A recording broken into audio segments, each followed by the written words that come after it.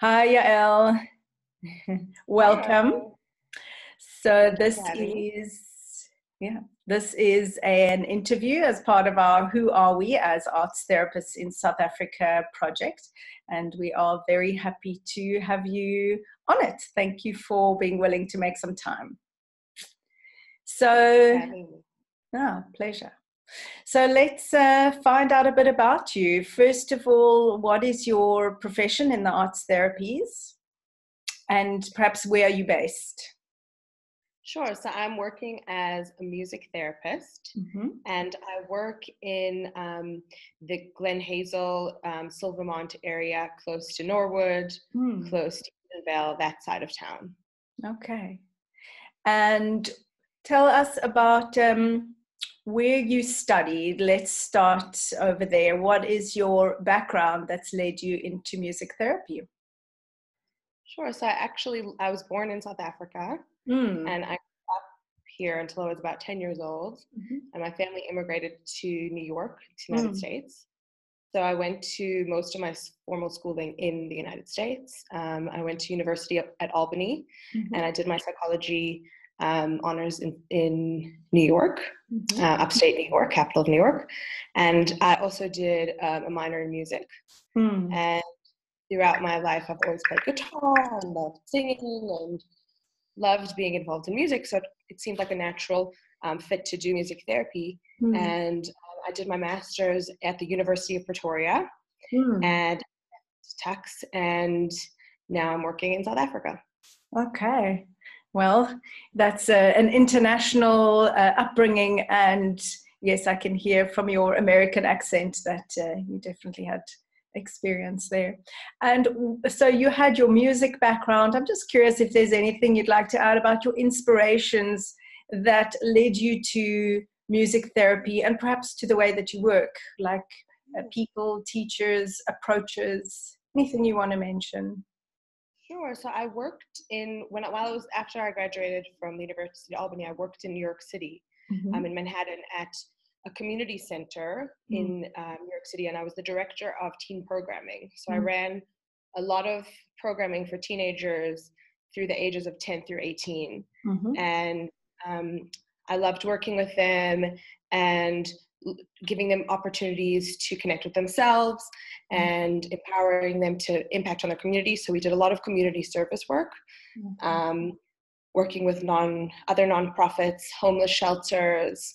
Mm. Um, we used to do programs where we would um, cook food and meals and prepare them for homeless shelters, and we did trips abroad, all sorts of different programming. So I really enjoyed working with that age group, mm-hmm. and I encountered a lot of children in our groups with special needs, mm. and um, often we would try to be inclusive and, and have all the children work together. And it was very important to have those skills and how to work with different client groups and mm. being able to bring everyone together and acknowledge that we all have differences and that, that that's a great thing yeah. so that's something i really love doing in new york and it also inspired me to want to work and gain more skills to be able to work with that client group okay and do you have a particular approach within music therapy or any um, of your gurus i guess you could call them that you really mm. love the way that they work and bring that into your work Sure. So I love the humanistic approach, really working with people one on one. Everybody's an individual. Mm-hmm. Um, there's a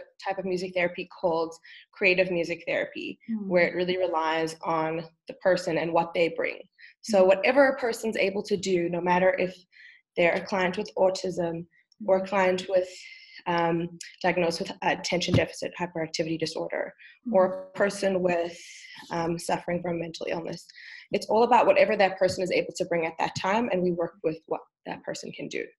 So it's um, very much for, focused on the individual. Every person's different. Mm-hmm. Every so you can't say one child diagnosed with ADHD is the same as the next child. Every single person is different. Mm-hmm. So try to acknowledge the individual. Wonderful. And how do you work at the moment? Do you use multiple instruments? Do you bring in different um, particular approaches for particular kinds of conditions or people? So for it depends on the um, on the client group that I'm working with. If I'm working with a teenager, Mm. Um, I may work with songwriting mm. and a lot of reflective techniques, music listening, and those types mm. of things. If I'm working with a child with autism, it may be a lot about drumming and playing mm. um, different instruments and really getting to meet them where they are. So mm. if they are, if a person um, a stroke victim is only able to do tap lightly on the drum, mm. I would work with whatever that they could do and acknowledge that. Mm. Um, so in, in music therapy, we use a variety of techniques mm. and depends on which client group you're working with. Okay, excellent. Can you tell us about your clients? Who are you working with? Sure. So right now I'm working with a lot of children mm. um, with special needs in different mm-hmm. areas. So um, I have a couple clients with Down syndrome mm. um, on the autism spectrum as well. I mm-hmm. work with quite a few children with ADHD, and I see a lot of benefits with music therapy with all these groups. Mm-hmm. And I also see quite a lot of um, clients with Alzheimer's and dementia as well. Mm, okay, so both ends, the young and the more mature. Mm. And do you work in a private practice or do you go out to the communities or schools? So I do have my own private practice um, in the Glen Hazel Silvamonte area. Mm-hmm. Okay.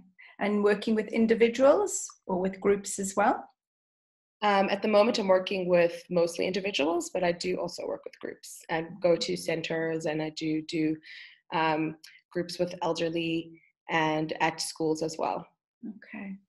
I'm going to ask you at the end how anyone interested might be able to get hold of you. But before I go there, I'm just curious if there's anything that you'd like to bring in to before we complete our interview. Sure. I think um, the arts therapies is a very um, special and important type of therapy in South Africa. I think, especially in this country, it is so important um, to be able to reach people in a way that can can really get to them and help them and i think being able to to communicate with people who especially can't just use words to be able to reach people in a nonverbal way is so important mm. and um, i'm also currently working on a project called creative gatherings mm. which i've partnered with a number um, of another drama teacher and some other professionals in the community and mm. professional musicians, mm. where we bring together different musicians, street musicians, amateur musicians, and professional musicians, mm-hmm. and try to really um, bridge boundaries in the communities and bring people together. And it's kind of a, an Ubuntu mission in a way to really have an opportunity, and we're going to be showcasing our work at the World Congress of Music Therapy in 2020. Mm-hmm. And um, it's a very unique project. Sounds so. really inspiring. So, how can people get hold of you if they want to contact you, find out more, work with you, book a session? Sure. So I do have a website. My website is Yael, Y-A-E-L, musictherapy.com. Mm-hmm. And they can contact me through my website or my email address is on the website. Mm-hmm. And um, I'd be happy to speak All and right. see if music could be for them. Great. Well, it's been really interesting. One thing that I'm finding interviewing more arts therapists is just the beauty and the sense of community and the sense of upliftment that everyone seems to bring. It's like the creative touch that expresses through music or dance or art or drama. It, it seems to come from a, a similar place, and I'm lo- loving really feeling into some of those connections. So, thank you for the beautiful work that that you do and for coming on and being willing to uh, be part be seen as part of our arts therapy community and to share. Thank you so much for for having me. Absolute pleasure. Thank you so much for having me. Thank you. It's a pleasure. Bye